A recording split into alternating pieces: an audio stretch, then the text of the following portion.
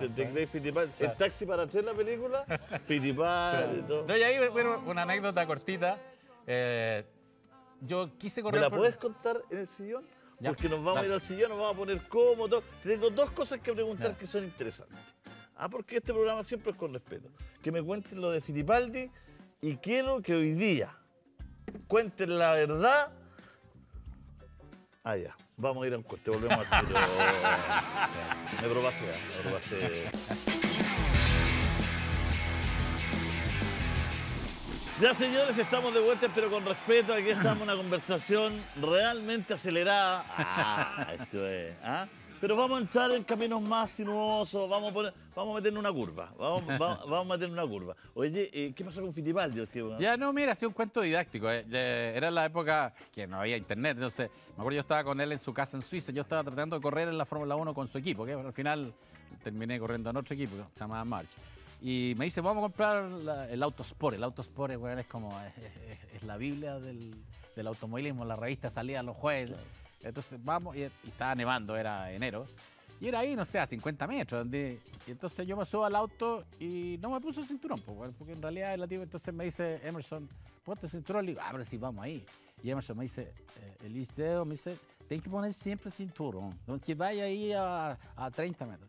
Puta, y desde ese día, man, o sea, ahí para decirle a los muchachos ahí, póngase el cinturón siempre, muchachos, porque los accidentes pasan en la ciudad, no, no, o sea, la- el gran porcentaje son en la ciudad, cerca a tu casa, más que en las carreteras. Así que es una, una anécdota didáctica, pero... te quedó para siempre. Me quedó para siempre, te juro. O sea, y hoy día tenemos por vender por más, pues, pero jamás weón, me, me subo al auto que anda en el estacionamiento sin ponerte el cinturón por Fittipaldi.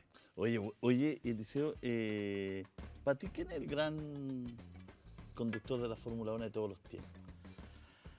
Mira, o sea, siempre, no sé, lo, lo- lo tradicional es pensar en Ayrton, pero yo Que creo una leyenda. Claro.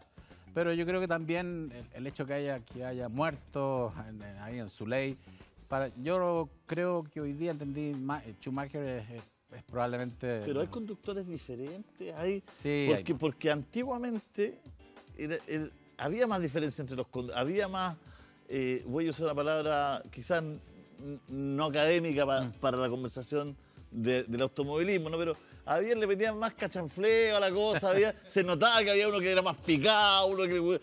Hoy, hoy día es como más así, como casi, casi robot, robótica. Entonces, Absolutamente. entonces, como que antes, por eso, por eso eran tan queridos también los, los porque cada uno tenía su personalidad, su, Claro, hoy día además tenés, por ejemplo, hablando de los autos, los autos hoy día no, no pueden ir eh, derrapando de costado. Eso es bonito para la tele, pero no, no, no funciona. De- el- lo- hoy día las diferencias entre el piloto número uno y número dos, cuando hablan de Hamilton con Bota o como era en su momento Schumacher con Barrichello, son tres décimas de segundo. compadre. Tres décimas de segundo en una vuelta, hay una vuelta de un minuto y medio. Entonces, la diferencia es muy sutil. La gente, eh, los Hamilton, los Schumacher, es- son capaces de, de- de ser muy fluidos. La gente piensa a veces que, que las carreras de auto eh, es andar, no sé, todo lo loco y doblando rápido. No, es mantener, no me quiero poner muy técnico, pero la plataforma del auto lo más estable posible.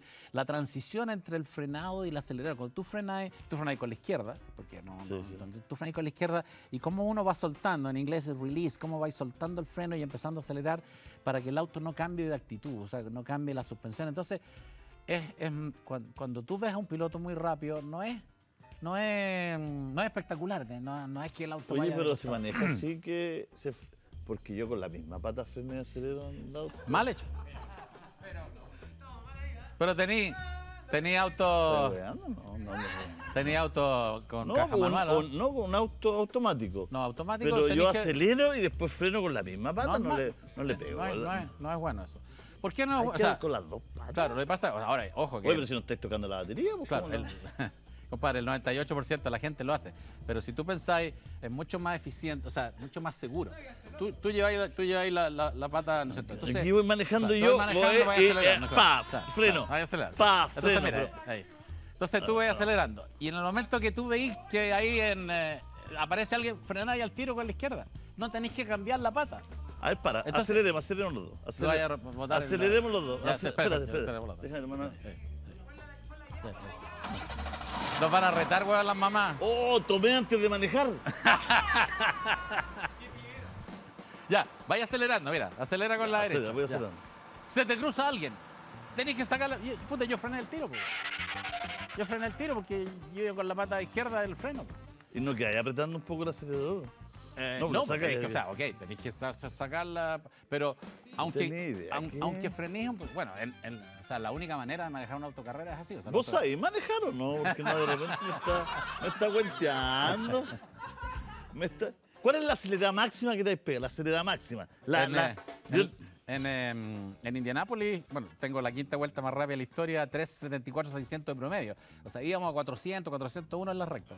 400. No, en serio, claro. Bueno, eh, de nuevo, está 400. escrito ahí, pues bueno, o sea, no. A 400. Quiero brindar por ese liceo. Gracias, compadre. Compadre, porque aquí harto que de repente me lo chacotean, yo siempre lo defiendo. ¿ah? 400 kilómetros. ¿Por qué en Chile no te reconocemos? Yo, mira, a mí me, por mi- yo siempre lo digo aquí. Yo siempre lo digo aquí, porque me ha tocado por mi pega, soy un agradecido viajar mucho.